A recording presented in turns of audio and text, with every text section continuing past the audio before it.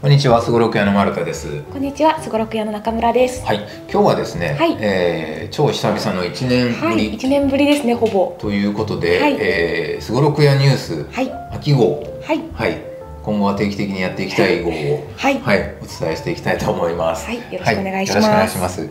えーたくさんね、ちょっと1年ぶりなので、たくさんあのお知らせがあるんですけれどはい、すね。はい、えー手短にまとめていきたいと思います。はいえーまずはこの宝石ゴンゴンとはいいうこのゲーム、えー絶賛発売中。はい、日本語版が発売したばかりですね。そうですね。はい、まあ元々のその和訳添付版というものもあのかかなりええ、もう遊んでいただいている方が多いんですが、はいまあ改めての日本語版、はい日本語版といっても英語もドイツ語も英語かな？英語がはいはい入ってますので、はいえーで今回これのねあのプロモーションビデオを作りました。はい、えー今回、まあ、最近あのプロモーションビデオという形でちょっと面白げに見える動画をたくさん作ってるんですけども、はいええ。これもその一環で、はい、ちょっと見てていただきましょう。はい、大地の恵み宝石発見。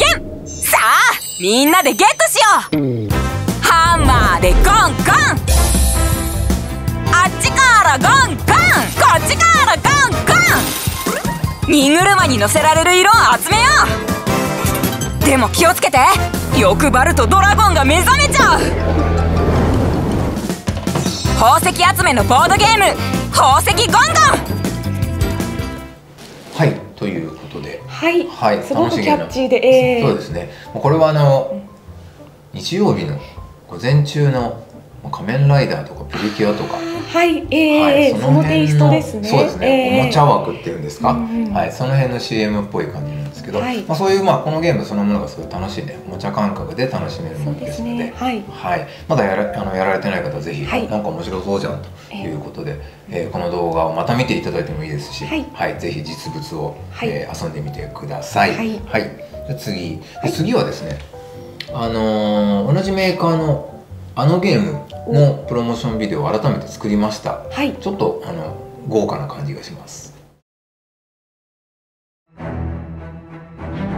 A fierce battle is breaking out for this family. They position their folded cards as walls to build a one meter high skyscraper. Stacking cards to propel the heavyweight superhero to the top floor causes the building to shake.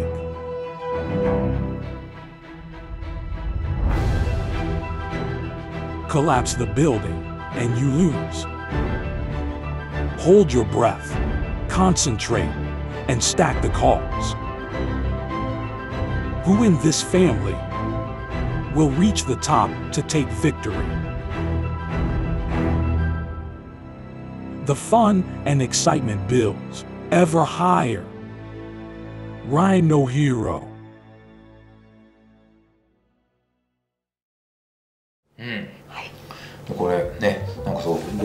はい、おなじみのあのゲームが こんなに壮大な。ね。壮大な音楽とそうなんかこのはい。派手なというかなんかすごく立派な音声なんだけど、やってることはお茶の間の そうですね。はい、キャプテンいつものキャプテンリノはいはい、えーまあ、途中段階なのでもう少し変わるかもしれませんけどこんな感じの動画で、はい。えー YouTube だとか、ええ。あとはあの映画館で、うん。あの最近あの冒頭に CM を流してることがあるんですけども、えまあ、そこで流れたりするかもしれませんので、はい、はい。いろんなとこで見ていただきたいですね。はい。く。ださい。そしてまたはい。ゲームもね、はい。あそういえば、えー面白かったなということでぜひ遊んでみてください。はい。はい、次。お、この地図は？うん、これは吉祥寺の駅、えー東京の吉祥寺という中央線という東西に走っている、えー電車の、新宿から15分ぐらいですかね。すね。はい、えー行ったところにある駅なんですけども、はい。えー高円寺という一番最初に2006年に、えー出した時にずっとい16年間16年はい。い。た、えー駅の、まあ、場所をから移転しまして、はい。こちらの吉祥寺に、えーリニューアルオープンしますので、はい。ぜひこちらに来てくださいというか、えー年始に高円寺店に行ってびっくりしないようにしていただきたいと思っております。そうですねでこの吉祥寺からどう行くのかなんですが北口を出ましてはい。このダイヤ通りダイヤ街というところどんどんどんと進みましてこれ商店街がいろいろあって楽しいんですけど、はい大通りの、えー目の前には東急百貨店大きなビルがドーンとありまして、はいえーでそこをまっすぐ行くと東急裏というね最近ここおしゃれな、あ洋服屋さんとかはい。と靴屋さんとかギャップおしゃれなゾーンですよさんとかねねトゥモローランドとかいろいろありますが、えそこを通り抜けてここに靴屋があるので、はい。この西三条通りというところをちょっと行くともうここにあります。うん。ほぼ一本まっすぐ行けば。はい、わかりやすいです。はい。まあ、あの今までみたいにね、ええ。ー1分内に行けるとかいうことはなくて5分ぐらいですかね、まあ、かかると思うんですが、ええ。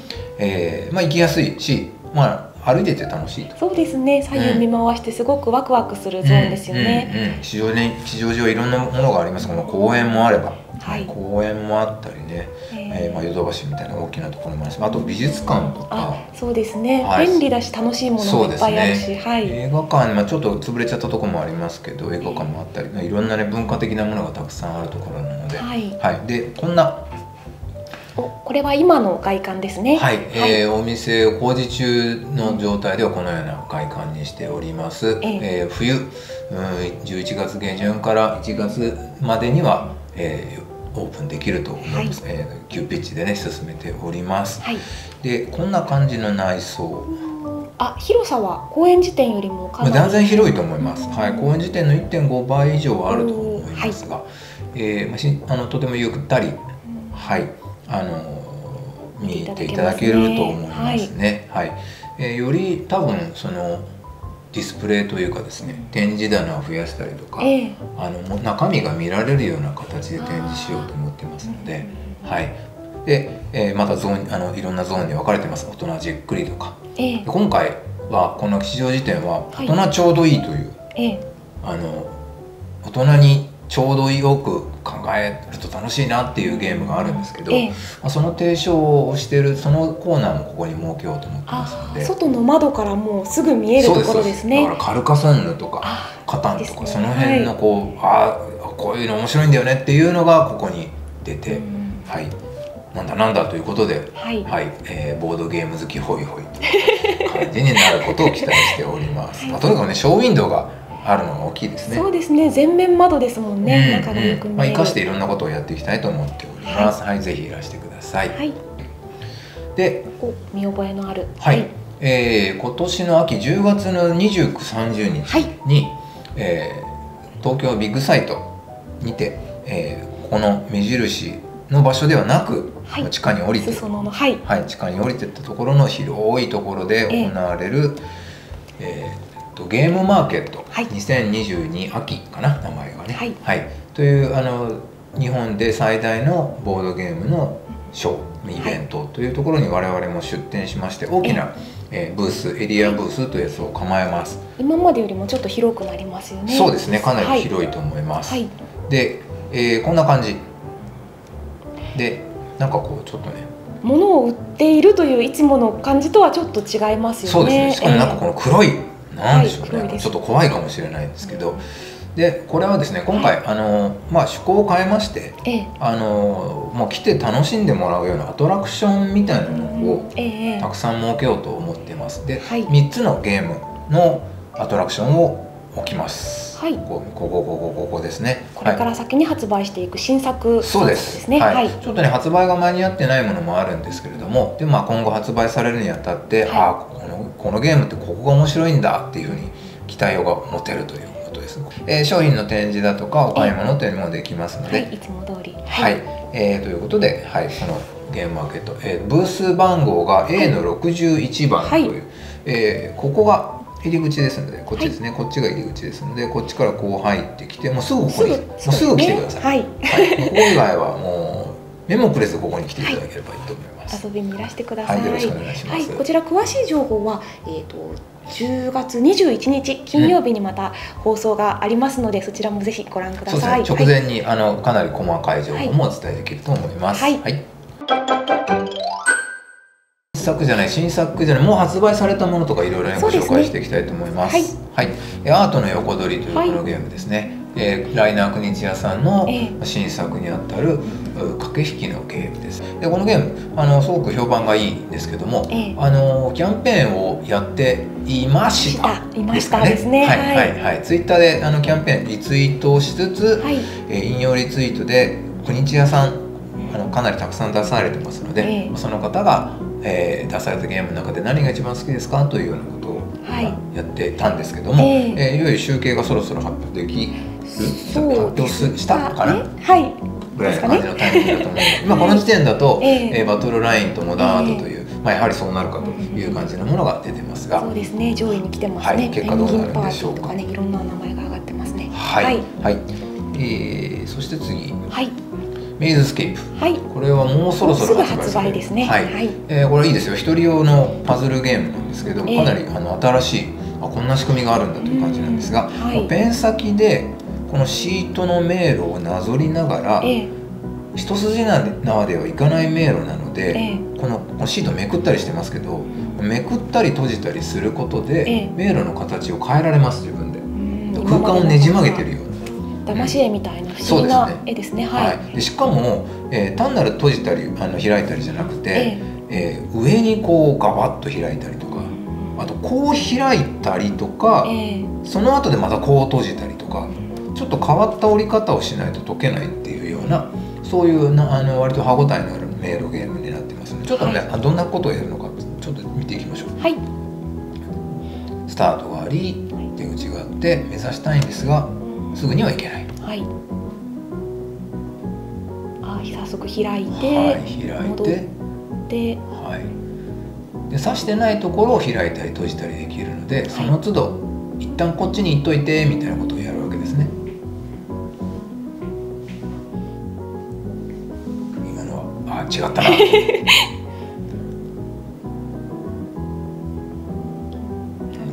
りなんだけど一旦行って今度上に開いて。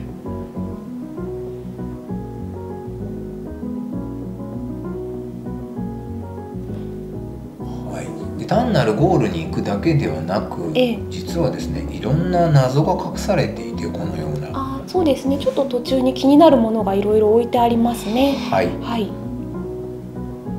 おゴール。はい。はい。ということで、まあ、ゴールについてでさらに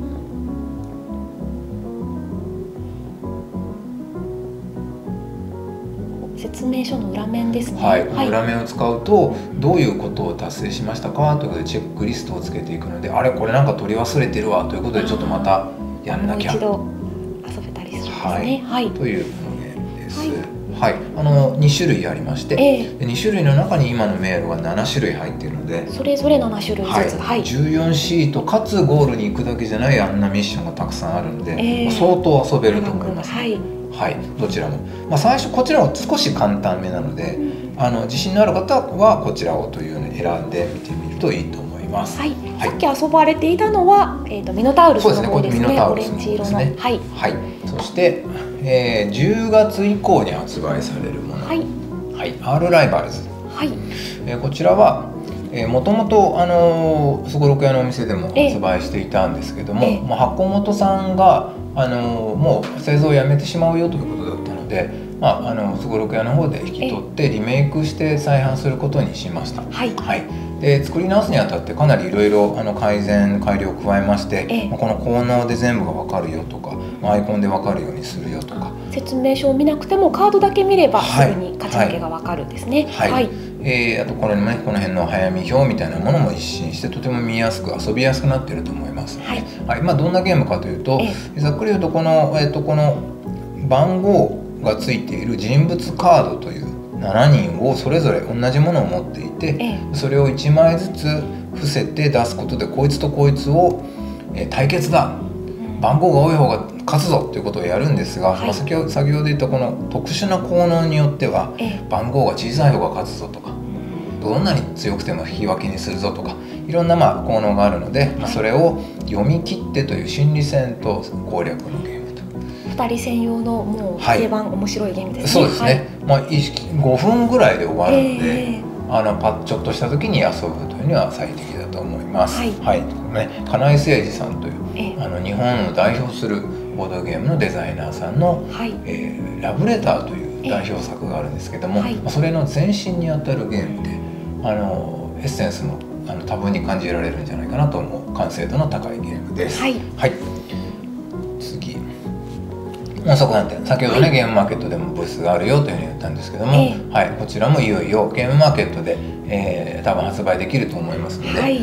えー10月の上旬ぐらいには、えー公式予約が始められるんではないかなと思っています。そうですはい、お楽しみに。はい。でこういった、あのー新しいゲームの情報を、えー的確にたくさん来ても困っちゃうじゃないですか。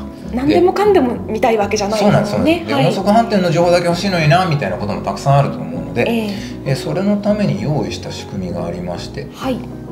すごろく屋のホームページですね。はい、はい。えー取扱ゲームリストというこのページなんですけども、ええ。ーここにですね「フォローなど」というボタンが、はい。お友達かみたいな。あ そうじゃないですね。え。はい。はい。追っかけるよという意味のフォローなんですけども、はい。このフォローをポチッと押していただけるとですねこのようなページに行きましてフォローアップ通知はいフォローアップ通知という新しい仕組みを作りまして、はい。えー自分が選んだ項目に対してだけ続報が届くよっていうだこうやって例えばこのようにつけておくと、はい。ミュージアムサスペクツのその後の何かの情報とかええ音速飯店のその後の情報非常時点で何かが起こったらここに書くメールアドレスに届くよっていうそういうものなんですよ。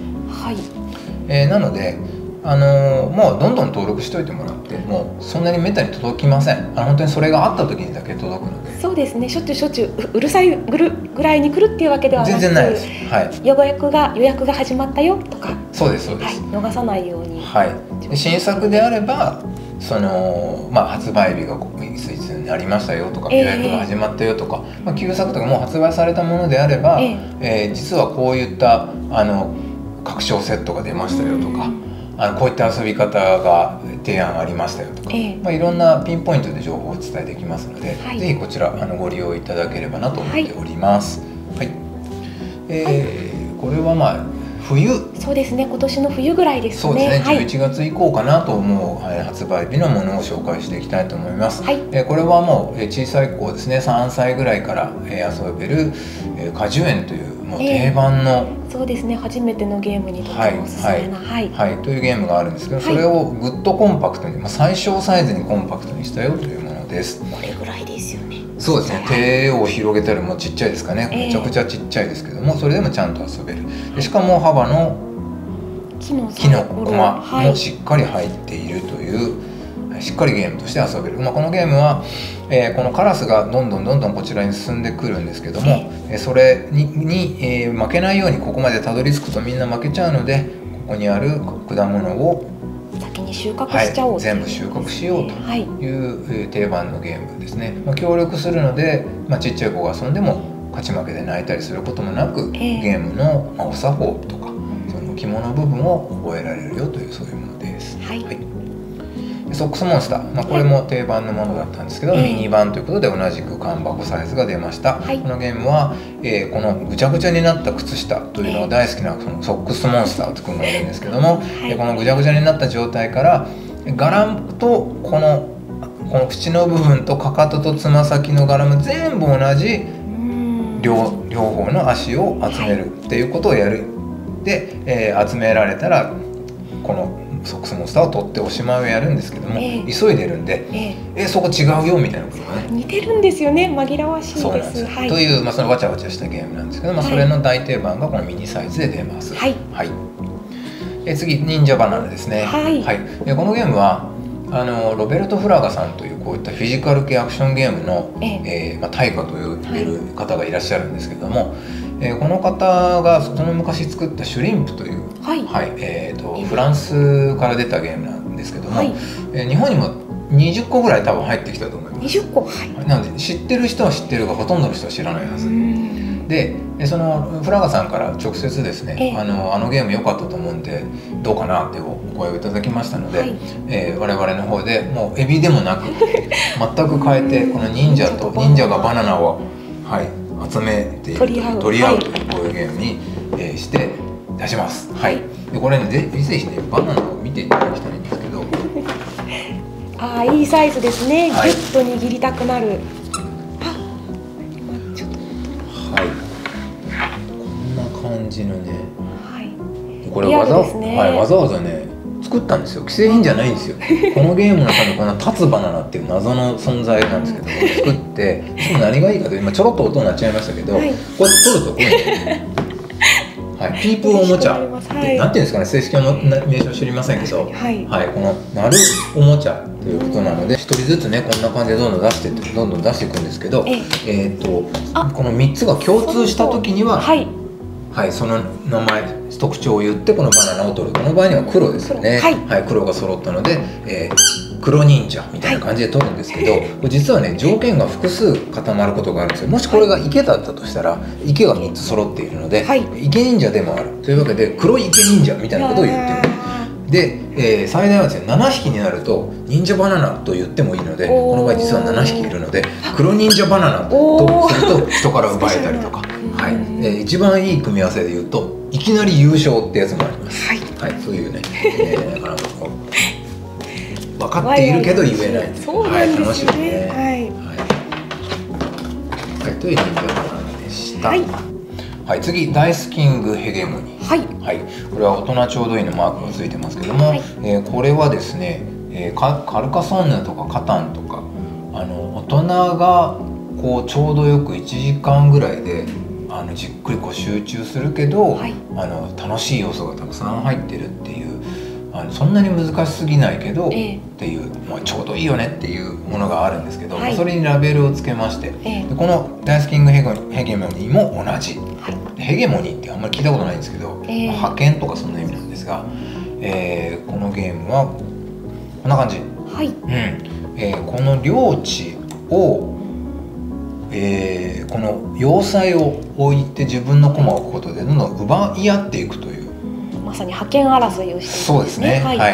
えー陣取りと言ってもいいかもしれないんですけど、はい。まあ、それをやるためにこの陣地えー要塞を置くためには、はい。この辺の国の住人をあエルフとかドラゴンとかオークとかこの辺の人たちを集めていかないといけない。はい。でこの辺の人たちを集めるにはこの条件が書いてまして、え。えーサイコロの色とか、えー目をこのように揃えてもらわないと取れませんなのでこのサイコロをジャラジャラと振りまして、はい。でそれだけだと単の運になってしまうので、ええ。えー、とこれとこれは残してこれは振り直そうとか取捨選択ぶりというやつをやるんですね。ヤッそツィですね。はい、はいヤッツィという、えーゲームを起源にしてるんですけども、えーその振り方をやることで集める。はい。という、まあ、その辺のいろんな段階が、えーまあ、この辺の特殊な効能と相まっていろいろ絡み合っていくのが面白いというゲームなんですが、はいえーまあ、これもねあの大人じちょうどいいになふさわしくなかなか悩ましいポイントがたくさんある。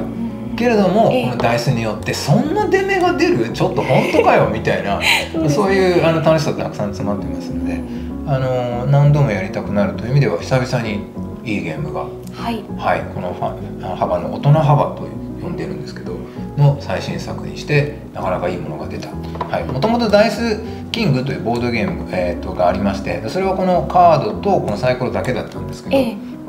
今回はそのヘゲモニーというのはそれをえー拡大版ということでこの領地争いを加えたことで、え。えー完成形になったという感じですかね。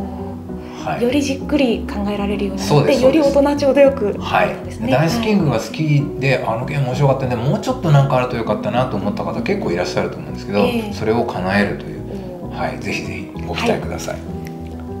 えーかくれんぼお化けぐっと簡単になりつつも、でも大人の心理戦というゲームなんですが、はい。えー名作復刻シリーズということで、ええ。えーかなりもう10年前ぐらいに絶版になっちゃってますが、はい。えー惜しいいいゲームだったので復刻をさせます。はい。はい、こんな感じのゲーム。はい可愛らしいですね。はい、えーお城の中でお化けたちが脅かし合っているというテーマでして、はいでお化けお化けですね。こんなお化けが自分の駒でありまして、はいで部屋同士がつながっていたり、つながってなかったりします。はいでこのつながりを考えて毎回毎回お化けたちは隣の部屋に必ず動かないといけない。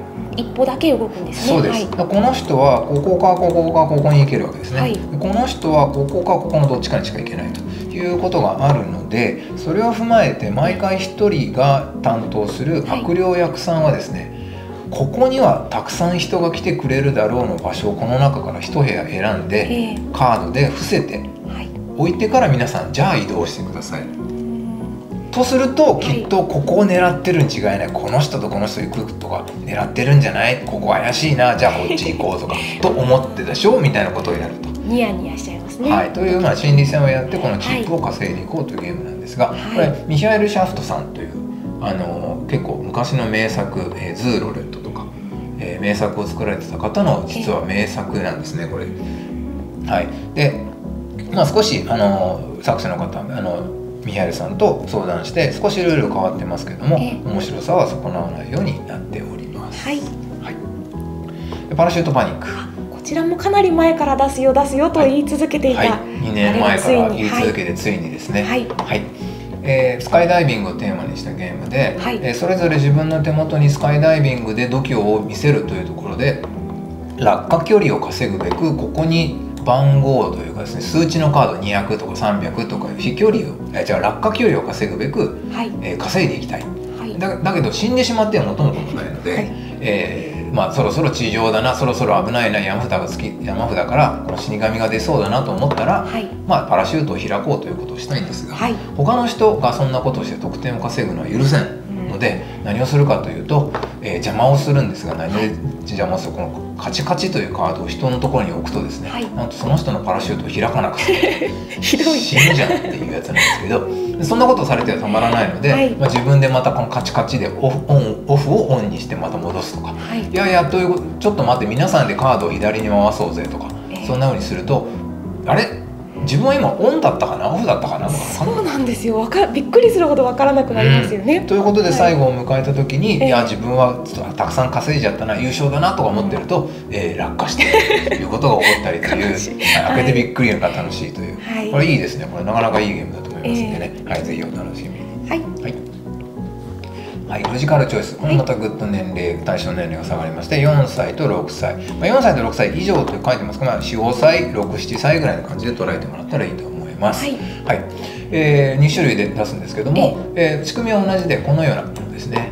はい、で、この束、たくさんの束、カード束があって、ええそれぞれにこのような、まあ、パズルというかですね、あの問題が書かれていまして、ここね、最初見えていません、ここは。ここかぐっと隠れて今上に上げたんでここが見えてるんですけど、ええ。本当これ見えてません。見ちゃダメです、はい。こんな感じでこの絵を見た時に、ええ。まあ大体このよこの区切り線でこの4つ見た時に、ええ。何か違いが感じられるものが正解ですよっていうでこれで言うとピンクピンクこの形赤赤この形オレンジオレンジ。これとこれなんか色が違うよな。ということでこれが正解だということで、はい。ここにピンをグッと刺してからこれをグッと引き抜くと引き抜けたら成功。うーんなるほどなるほど。自分でルールを見つけて正解に自分で木の棒を刺す。そうですそうです。失敗するとどうなるかというと抜けないわけですね、はい、でこれ一切言語書かれてませんので、はい。あの絵で見てこの法則って何なんだろうっていうのを自分で見極めながら論理思考を身につけていくということでロジカルなチョイスをしていこうという遊びです。一人で完全に一人で遊べてしまうそうですそうです。あの本当に、まああのお子さんがいた時にあの何度も何度も遊べるので、ええ。あのこれを渡してずっと遊ぶみたいな、ん。そういう遊び方ができると思いそうます。ですね。カードもある。裏表両方とも問題になってますもんね。はい、かなりまあ覚えきれないぐらい入ってますんで、ね。はい。でまあ年齢が上がってきたら6歳にも挑戦してみてください。はい。えーディスクカバー。うんかっこいいですはい、ねまた大人にグッと寄るんですけども、はい。えーこれはですね、ええ。これじゃレコードが載ってますけどレコードジャケットをテーマにしたゲームで、うん、もうこれね架空のアートワークなんですよ。はい。ないですこんなのは。うんこれらも全部そうでというレコードジャケットっぽいはい。いろんな世界中のアーティストさんに描いてもらった絵を題材にしてええ。このように毎回候補が4つ出ます。はい。そして、まあ、スマホでもあの CD とかでも何でもいいんですけども、ええ。ランダムで曲を流します。うんで曲を流した上でどのアルバムジャケットがこの曲にはふさわしいと思う？っていうのを投票してもらって、はい。でそれによってみんなでなるべく一致させていこう、楽しいですね。はい、という強調する協力ゲームなんですけども、えー、えー、なかなかねこの辺がねやると分かるんですけども、この年齢差とか。あそうですね。はい、若者が難しいですね。これね着ていてるものがやっぱり昔ほどこの一緒じゃないんでなかなかねあそれ選ぶみたいな、まあ、その辺のズレも楽しみ楽しいですね。会話が弾みますね。はい。であなんとかっぽいっていう、えー、ジャケットがたくさんあるので、まあ、その辺をこう話していくのも面白いかもしれないですね、はい、みんなで曲聴くっていうだけで楽しいですね、楽しいですね、はい、でまあ見知らぬ曲との出会いみたいなこともあるんで、えー、なかなかこの新しい体験ができるんじゃないかなと思います。はい、はい、えコソモポリートお待たせしております、はいこれもパラシュートパニック同様、はい、なんですが、えー、えー、こちらはですね、まあ、先ほどのゲームマーケットで申した通りアプリを使って、はい、アプリの中でこのお客さんがいろいろこれをくれあれをくれというふうに言ってるので耳を傾けると「えー、おにゃおにゃおにゃ」とか「一回モルトボンジー」とか そういうことを言ってますので「はい、あのなんだそれ」とか言ってますよね。はい、えー、にゃんかたんとかいろいろ言ってますのでそれをこのカードからこのカードを見てたくさんなる中から「えこのこと言ってんじゃない?」みたいなことをこのメモと照らし合わせながら、はい、みんなでわちゃわちゃ探しながらだとするとこの唐辛子が欲しいってことだよね。3番さんはということで唐辛子をここから探してきて3番さんとセットにして3番さんは唐辛子でどうでしょうっていうのを渡すと3番さんが「うん満足」みたいな感じで答えてくれるということで全員を満足させるというのに挑戦するゲームです。はい、はい。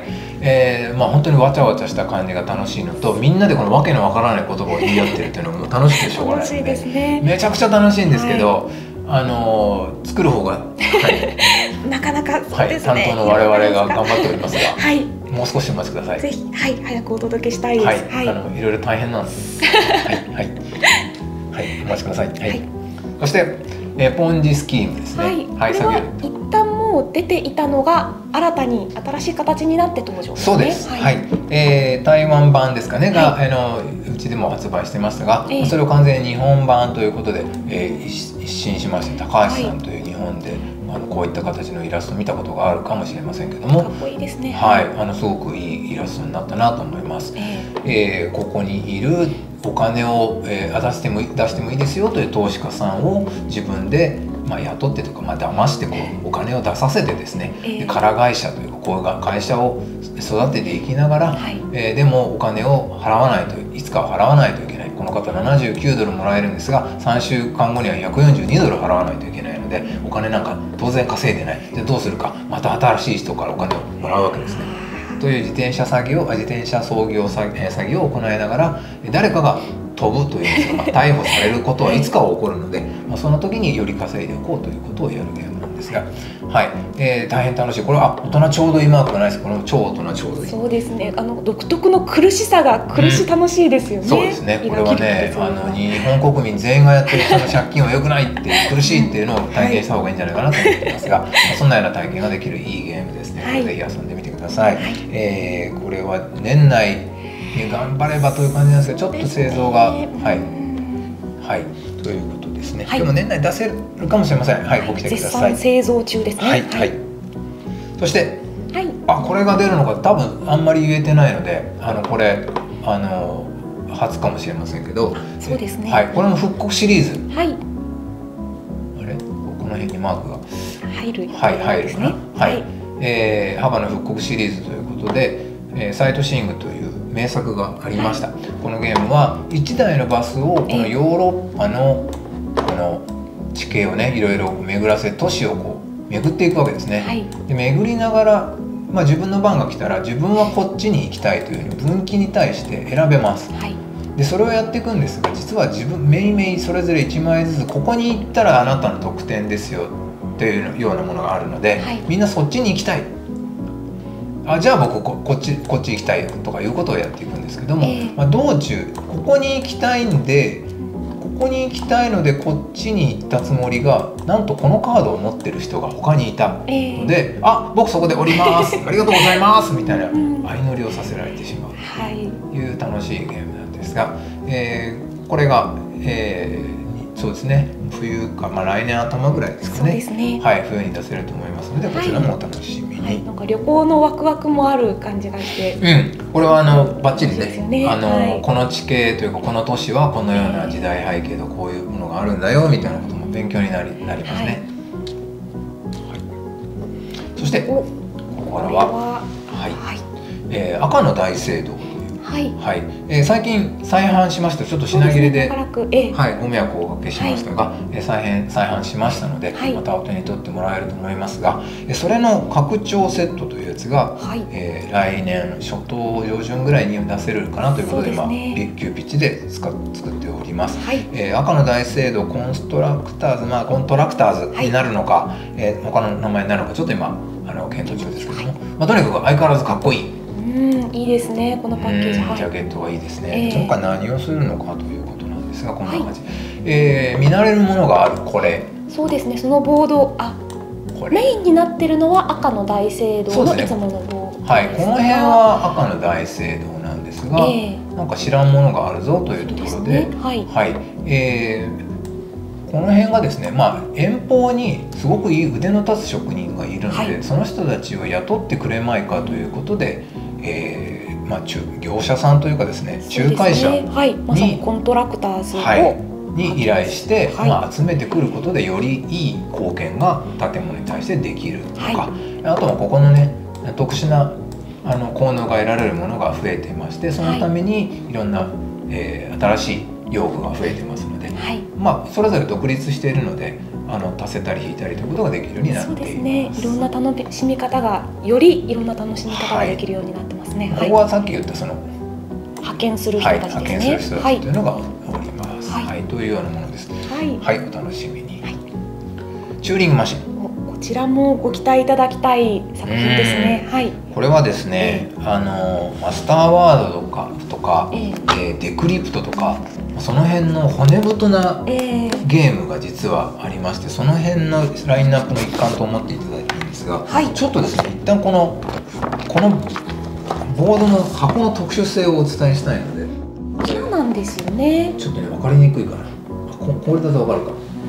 穴が開いてるんですよ、はい、こんなボードあんまり見たことないと思うんですけど、えー、はい。ただかっこいいだけじゃなくて意味があってこうなってる箱なんですよね。これが実は、はい、はい、内容に生かされているんですけれども、はいまあ、このようなね、えーまあ、中央にこんなのがあってそこからニョキニョキカードが伸びているというなんかメキシカントレインというゲームに見た目に似てるんですけど全然違います。はい、でお題というものがいろいろあってそれに基づいて3桁の番号を当てようっていう、まあ、ここまでだと割とあったりする。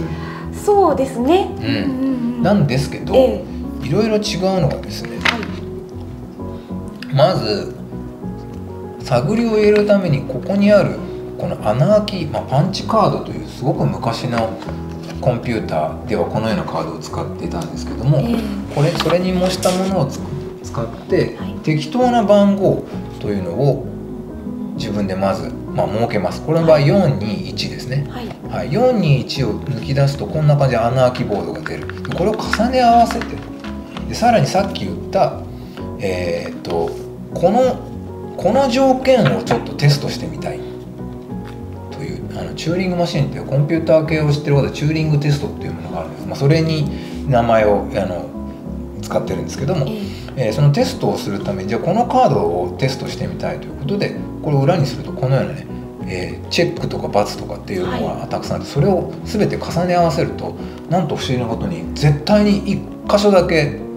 イエスかノーかがそうなんですよね。これすごいシステムですよね。めちゃくちゃ不思議です、ね、はい、作れる気がしないはい、はい、で、えー、まあ何をしていくかというとですね例えばこれで言うとここが難しいんですよ。ここの説明がでもいきなり難しいんですけどこの421っていうこの青黄色紫のこの421っていうのを、はい、この条件に照らし合わせるとどっちですか？と、はい、これ紫がこれ、えー、っと奇数じゃない偶数、はい、偶数と奇数って書いてあるんですけどこれ、えー、これどっちですかっていうとこれ奇数ですよね、ね。はい、つまりこっちですもしこれをそこのえーと、チェックとか×とかがあるところに合わせて、うん、OK チェックって言われたら奇数が正解っていうことですよね。えっとねまず、うん、そこれがここに合ってるということを確認した上で、うん。ええ、じゃあそれは正解ですか、不正解ですか？っていう。この場合イエスと言われたので、はい、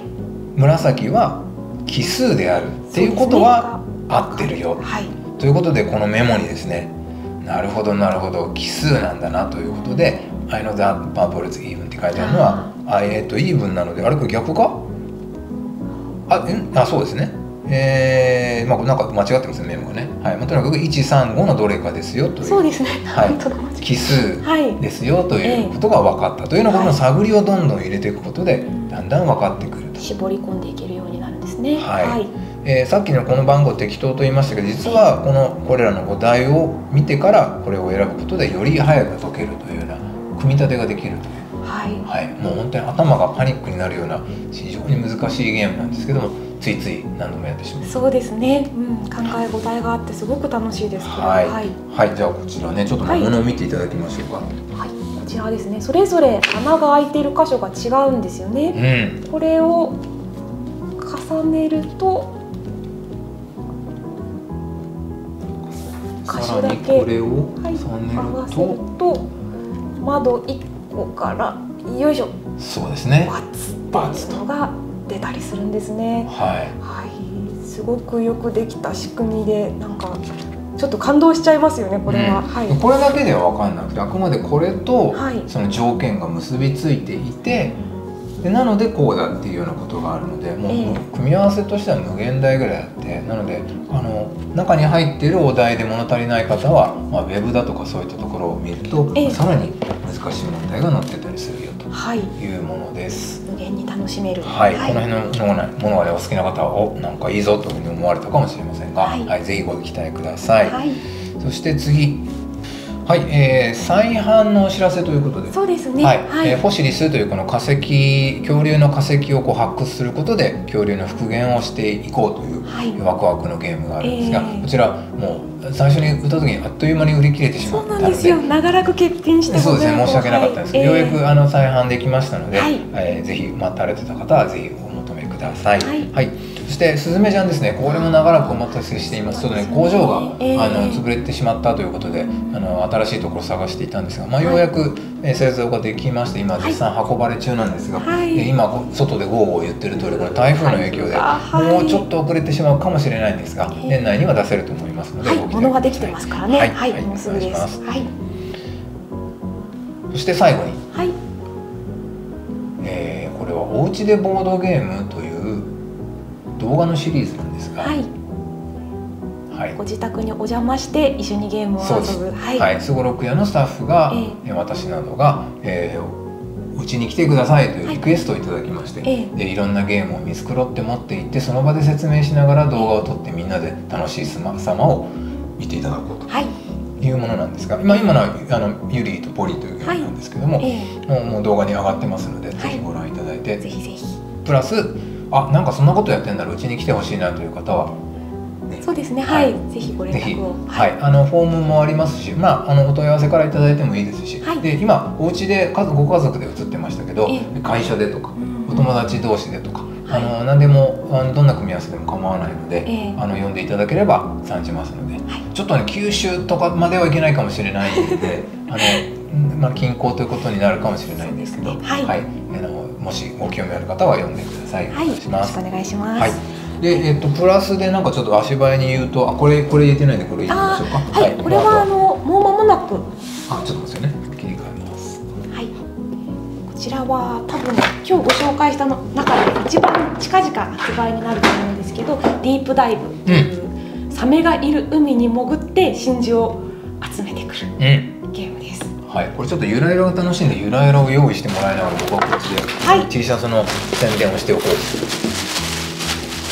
はい。えっと、ゴブレット・ゴブラーズというゲームがあるんですけどもそれの,、まあ、あの関連商品ということで、えー、えー、 SUZURI というウェブサイトでこんな T シャツがはい、可愛いですね。胸のところにバッチリこのゴブラーズ君の顔があるのが、色ももうそのものという感じですね。すね。はい。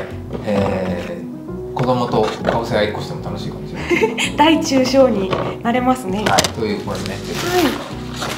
そしてディープダイブですが。あいいですね。はいはい、はい、う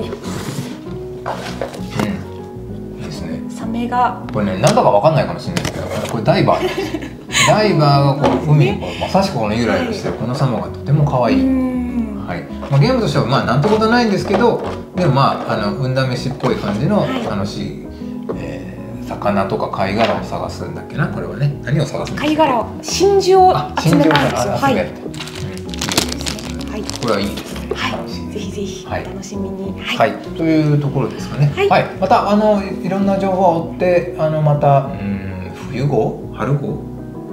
ですね。今度はこんなにお待たせせずに、うん、そうですね。また定期的にやっていきたいと思いますので、はい、でご質問あのリクエスト等ありましたらまたこの動画のコメント欄だとか、はい、あのお問い合わせフォームにいただければと思います、はい、お願いしますあの今後動画で楽しい企画さまざま用意していますのでぜひチャンネル登録をお願いします。はいよろしくお願いします、じゃあ今日はご覧いただきありがとうございました。ありがとうございました